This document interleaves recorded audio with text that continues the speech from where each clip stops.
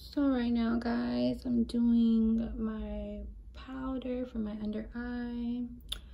Um, I have the ring light right there, so I'm just, you know, trying to touch on my makeup because I did my makeup like way, way, way, way, way earlier. So I'm doing it again, and it came out. It's coming out really good. I lost my other concealer. I don't know where it's at, if I would have had it, I probably would have been putting it on like for 30 minutes. So this was quick and easy, so that's good. But yes, guys, I'm looking good, looking snatch.